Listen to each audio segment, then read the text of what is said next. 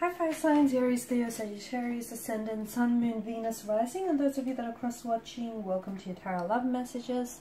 Today we're going to take a look at and see what's next for you in love. So this is a reading for singles and couples. This is going to be a general reading, so please just keep that in mind. If you are after a personalized tarot reading myself, please feel free to reach out and inquire. I will list my email address just below the video here, where the show more section is. Otherwise, guys, let's go ahead and give the cards a shuffle.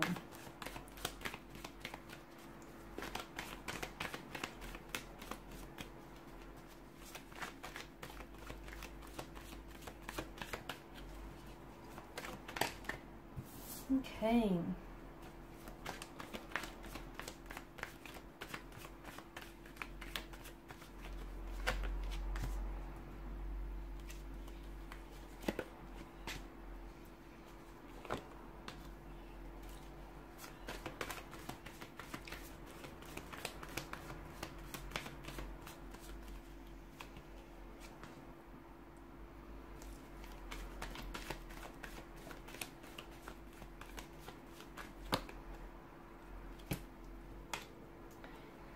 There is a lot of attraction, a lot of excitement, a very strong connection, a very strong romantic energy here that is circulating around you or that is coming in towards you. You've got both the devil and the lover's card.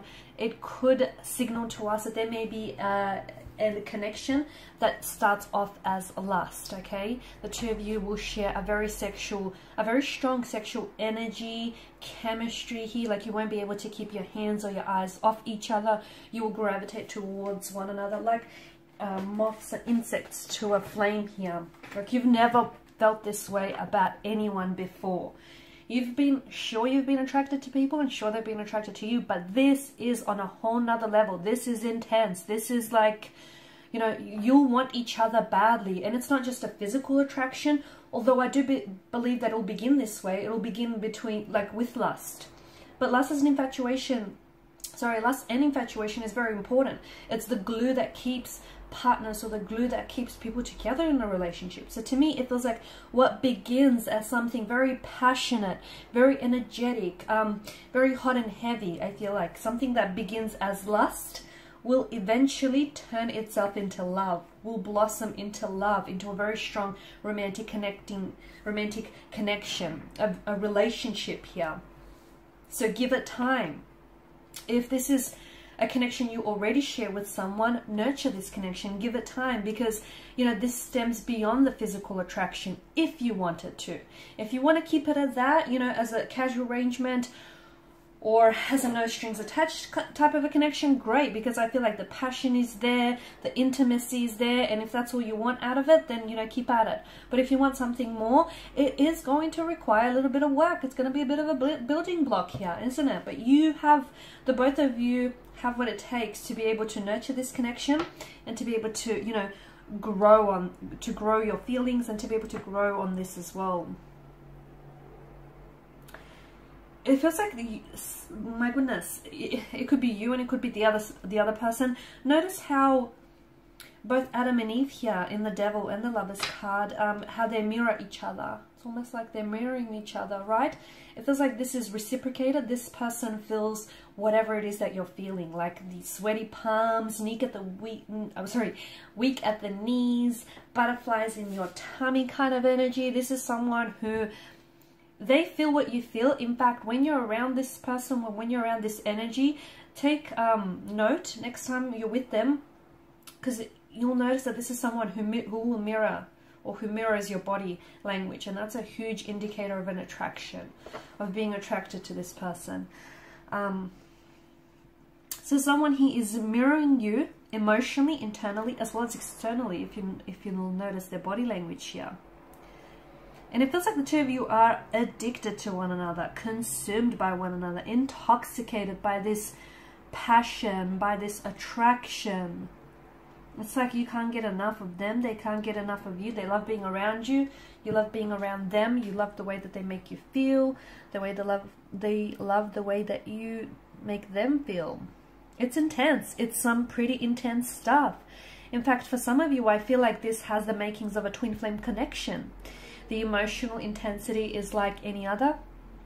And yeah, you've lusted and you've been attracted to people before, but not like this you haven't because this feels on a whole nother level. It feels raw. It feels intense.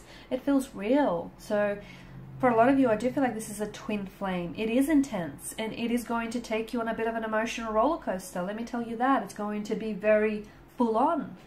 And in fact, at some point or another in this connection, those feelings are going to get way too intense for you to deal with. And for your partner, your connecting energy as well here. It's just going to get to a, to a point where you or they might become so overwhelmed by the emotional intensity that they'll have no other resort but to pull away.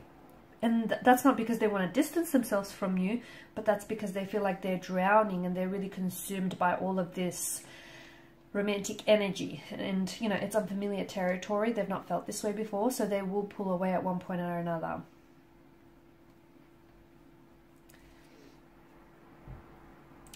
I'm also seeing that with the Ten of Wands, someone here is keeping to themselves Okay, someone here is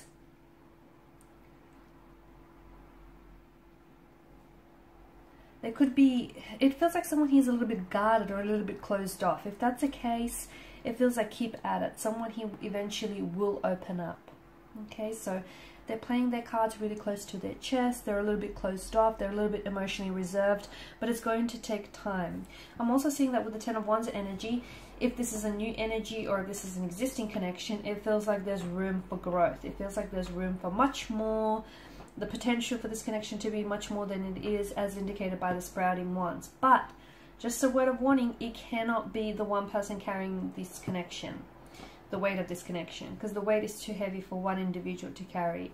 It takes two to be able to have a healthy relationship here. So make sure you're not the one that's overcommitting yourself here or your person isn't the one that's overextending themselves here.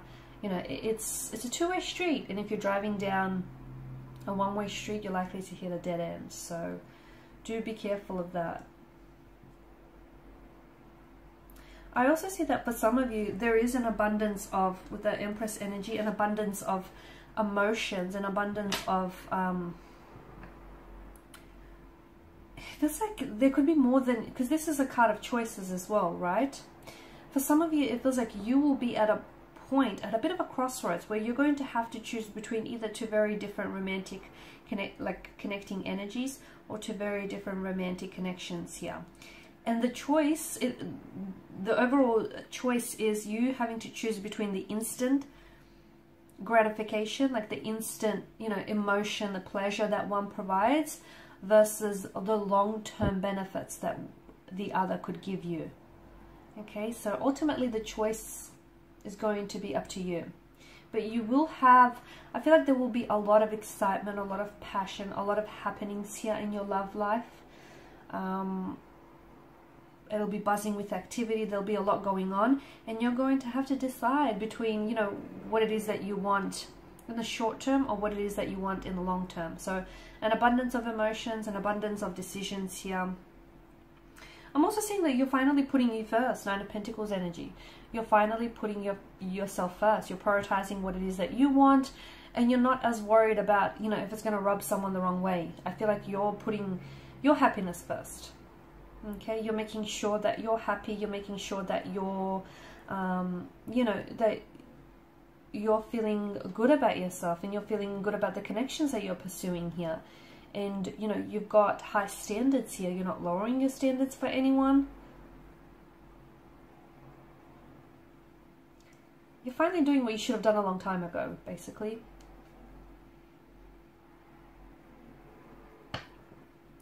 I'm also seeing to me it feels like just going back to these choices it feels like both these connections, okay, both these romantic connecting energies or these relationships, connections that you have, both have immense potential and they both have their pros and they both have their cons here.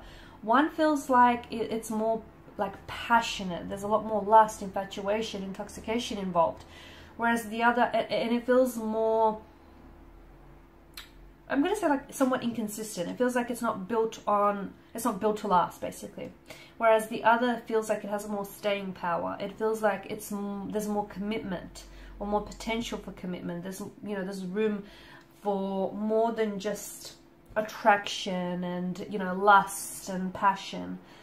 Um, there's you getting to really know one another and you really caring about one another and potentially you know um, building and expanding this connection in the future.